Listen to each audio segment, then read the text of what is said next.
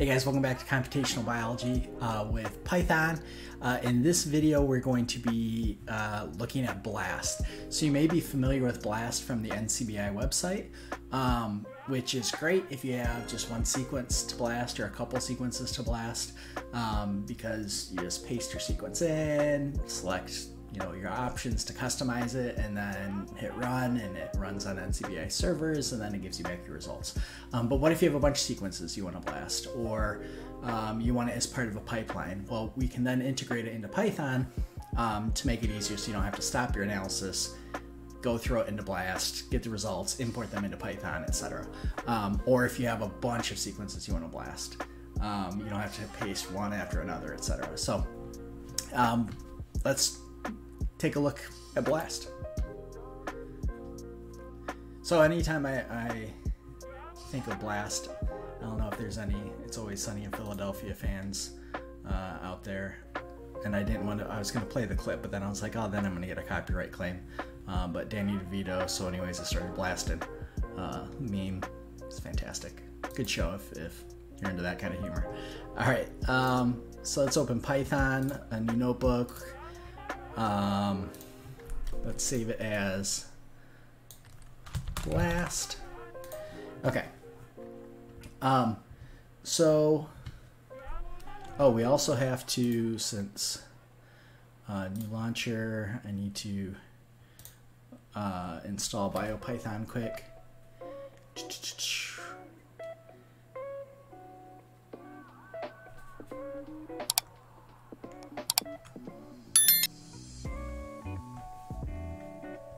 Any day now, terminal. So, for those of you not familiar with BLAST, um, BLAST is a way to take an unknown sequence and compare it to a database of. Um, sorry, I can't type in type and talk. Uh, compare it to a ba- database of known sequences to give you a rough idea of what that sequence is. So, for example, you find a new species of snake, and it has this gene of interest in the species. Well, the genome hasn't been sequenced for the snake because it's a new species, and you want to know what this interesting piece of DNA does. You can take that, you can blast it.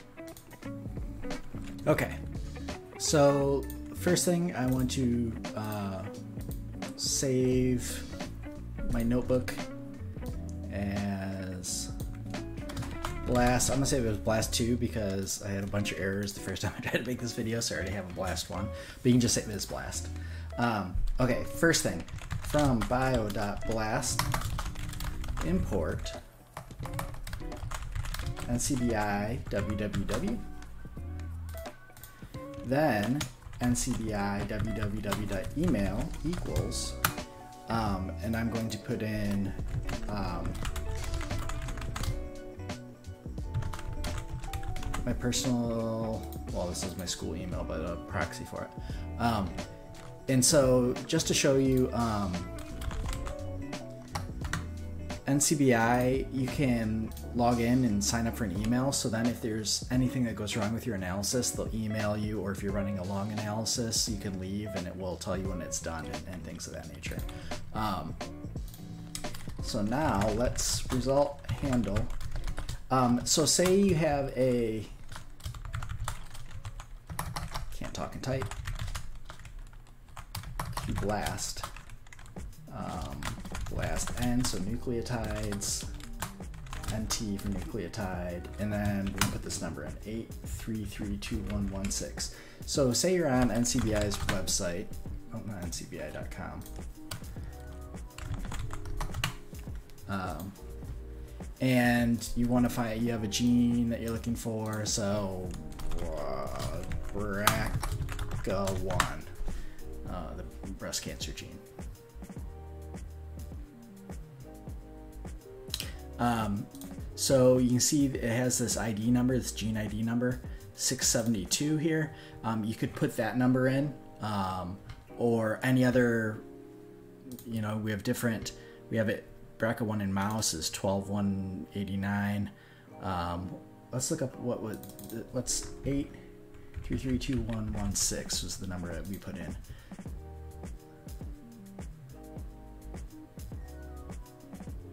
Um, discontinued or replaced item. So um, this. So what happens sometimes is if they determine that there's duplicate records, so it was described as one gene is this, but then they find it's a different gene, they'll combine records, they'll re-annotate and things like that. So this number is is not very useful for uh, 833211. Yeah. Um, but anyways, um, so that's um, you can put in those numbers if it's already annotated on um, NCBI. Um, what did I do wrong here? Uh, QBlast. Oh, there we go. Okay. Um, but what if you have something that you um, want to blast, like you sequenced something? So we're going to use this file um, from um, the BioPython GitHub page. Um, so this is a FASTA file for uh, cold acclimation protein. So you can go to raw here, right click, save as. Um, I see it as mcold FASTA.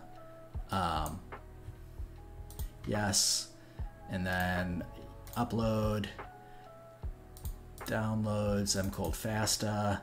Um, and then I want to, you probably want to rename it, right? Rename, get rid of the txt.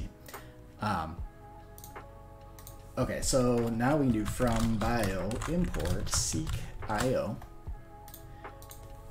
and then record equals seek io dot read read our mcold fasta file and tell them that the format is fasta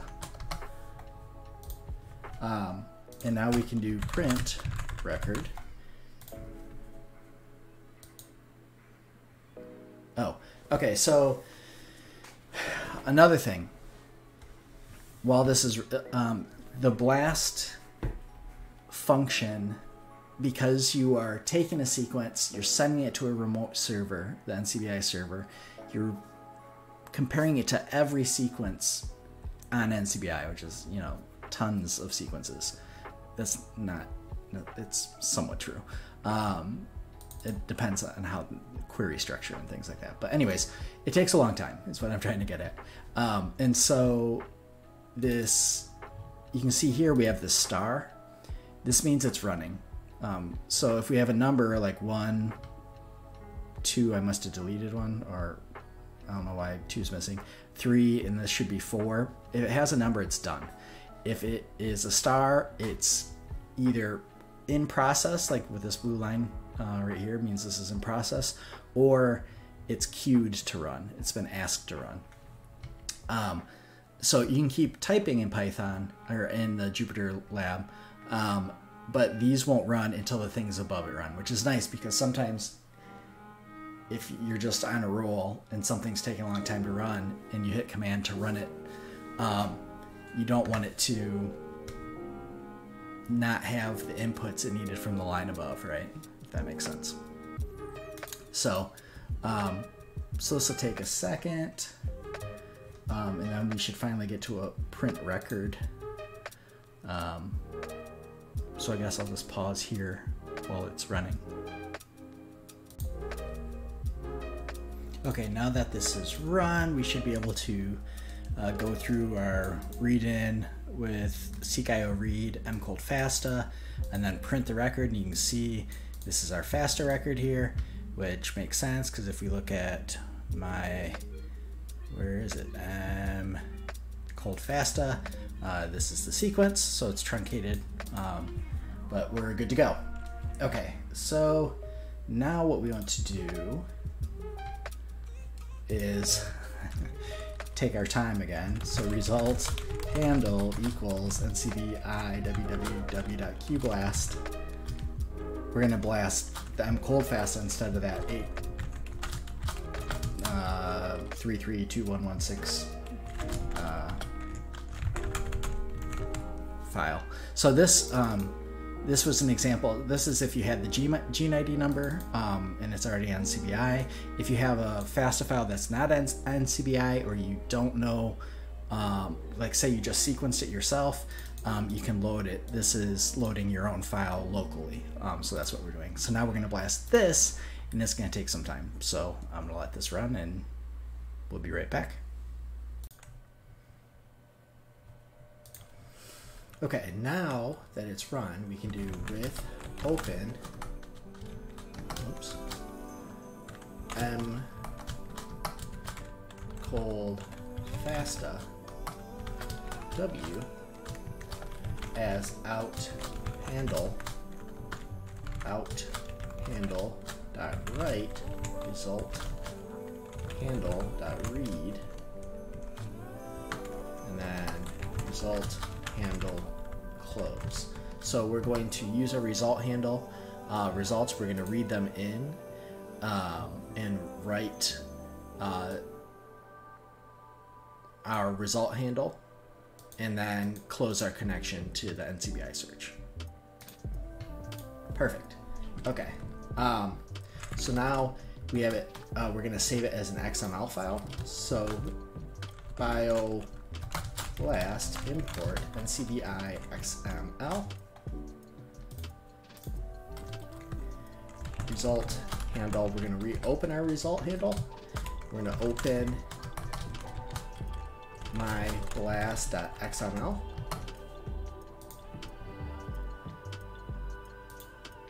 perfect. Blast record equals ncbi xml read result handle. So now we're going to read in our result handle that we saved up above. And now we can kind of parse through it. So E value thresh. So we're gonna look at only um, p-value significance or e-value significance of 0.04 and higher um, in our results. So for alignment in the last record alignments, so we're going to write a loop to go through um, for HSP and alignment.hsps. Um, if hsp.expect is less than e value thresh. So if our e-value um, for our alignment or significance of our alignment is less than our threshold, so less than 0.04, uh, we'll print an alignment. This is just kind of a banner uh, for us. I'll reprint sequence And then, so this is like a title. We'll print alignment title. We'll print length. So we're doing this to make it um, more readable for the end user or us in that case. Um, length, alignment length, oops, dot length. Print e value. Hsp expect. Print hsp dot query. We'll print the first 75 uh, letters.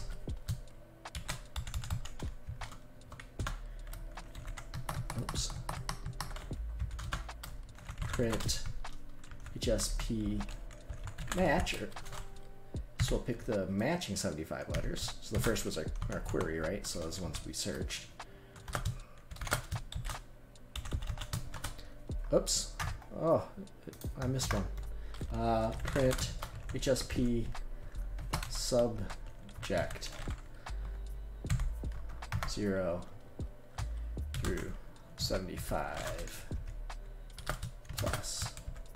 Oh, I did it again. Plus dot dot dot. Okay, so now let's run it and look at it. All right, so this we have our alignment, we have our sequence, which was the um, our query. Um, or actually, no, this is our what we aligned to. We have the length, we have the e value, we have our query sequence, um, and then we have our um, subject sequence. And then the matches, the lines, all these that match. And then for the loop, it goes to the next one. If it's below 0.04, it says, okay, um, this is the other cold regulated gene for um, Spinacia oleracea, uh, etc. And so it goes all the way down. So you get all the 0.04s, which is quite a bit, right? Um, yeah, so that is generally it. So we could write this to file too. We're not going to um, for our cases. We'll leave it in here. Um, but you can see, so the most likely alignment is with the lowest E value, right? So most likely our M protein, uh, M cold protein is um, Chenopodium um, quinoa cold regulated 413 plasma membrane. Yeah, so that's how you run blast. And you can see we can run uh, just the same way that we did a, a, loop like this. We could run a loop um, to run different protein uh, or different FASTA sequences on NCBI to search for them. But be careful, there are some like rules with NCBI you'll have to look into. Um, like how many searches you can do a minute and things like that. So you might have to put like delays in your loop. Um, but it's easy to do if, if once you've learned all these things that we've been working on. Um, so that is it. Um, I hope you enjoyed this lecture. It was a bit of a pain for me to make. Just stuff happened. Um, but that's generally how you blast uh, using the remote NCBI servers. And so there's a bit of a waiting period um, because of of hooking up to the remote servers. You know that we had that star sitting there um, on our uh, Python script where it was waiting to run, and I delayed the videos um, or cut away because I wasn't just to sit here and try to fill the space and talk. So, yeah, um, if you're watching on YouTube, please hit like, please subscribe. I appreciate you watching, and uh, I'll catch you in the next video.